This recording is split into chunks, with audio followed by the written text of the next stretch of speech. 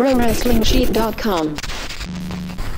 It was weird to be told in this promo and multiple times throughout the show that the show you've been watching ha- has sucked. Yeah. E- you haven't saying it, we've been saying it, even if everyone's been saying it while watching. Yeah. It's weird to tune into a show and have them say like, "Yeah, we know the show's sucked lately. Here's," and we're gonna point out all the reasons you've said it.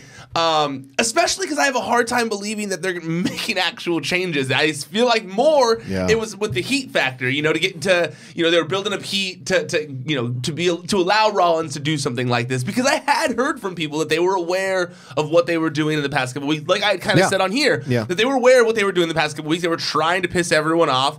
Um, so yeah, you know, I, I it, it was odd to have that happen Yeah. first and foremost. But beyond that, it was a cool moment. I mean, it was a cool Yeah. opening segment. It was it was like it was very much like you know you said the pipe bomb, and it's not so much a pipe bomb, but you know when he like when he mentioned uh, the revival, it was very Yeah. reminiscent of when it was like hi Colt Cabana, and the, you know even though Colt Cabana didn't work on the company at the time, and the, Right. Revi- the revival does, uh, it had that same kind of vibe to it. uh, So I, yeah, I, I liked it a lot.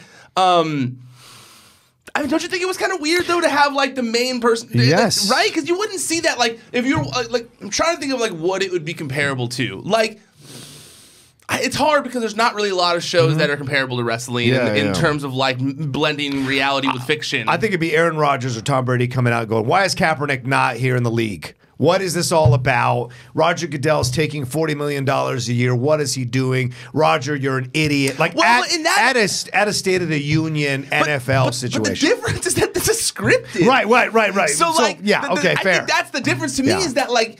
If, if that were to happen, it would be a genuine moment of like someone venting their frustration Right. to let it be known they But that's support Colin to s- Kaepernick. simulate. Totally. Right, right. But it's interesting to me that like Yeah, they, it's scripted they- to do it. Mm. I'm trying to think of like a scripted environment where they would script themselves to say the per show they've produced the past couple weeks has sucked. You It's know? if, if maybe Christian would give the outlaw a chance to complain about the showdown, uh, like to really complain about this. And Christian told me what to say, complaining about his own product. That it would be so. a sin, would kind of close similar- to that. It would be yeah. similar to that. Yeah, Yeah, totally. yeah. But like, oh, I almost picture it being like a soap opera or whatever. Yeah, But yeah. even though soap opera doesn't really blend reality with fiction, so it's kind of, I guess it's more like a reality show coming out, like like the Jersey Shore coming on TV and Snooki being like, man, past two weeks of Jersey Shore really f***ing suck. you Yeah, know, like you'd yeah. be like, that's jarring. You Yeah. know, like I've watched the past couple weeks and I think it sucks, but you shouldn't think it Right. sucks. It's your show. Yeah. You know, so the ratings are down. No That- one's watching our show. yeah, it was it was and like you said, it, it was it was very meta Mm-hmm.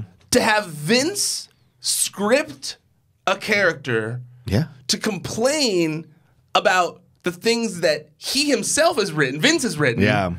but direct it at another character on the show. That's a weird. Like, imagine Vince sitting there writing that, like Yeah. writing someone complain, writing down everyone's complaints about his own script. That's a that's a weird scenario. Oh, like, yeah. it's, I feel like that's one of those like only in wrestling type things. Yeah, thoroughly weird, thoroughly insane. But I also think, ironically, I think it accomplished two things in this. This was maybe the best Corbin's ever been. Agreed. Back and forth on a promo. And second, I think they're setting up uh, Rollins now to go for the main strap. I think they are too. That was uh, that. This is why you leave him out there that long before anyone shows up. You let the public like really enjoy him and savor him. Then you have him say what the public's been thinking about saying, the voice of the people in that way, and against Corbin. And so now Corbin's going to put him through hell, a la Vince and Stone Cold again. We've seen this numerous. We've seen this little storyline play out a million times, and then eventually he's going to in a situation where he's going to win the, the main title, and he may lose the IC title in the process, but that's because he's being set up to win the main title. So. ProWrestlingSheet.com.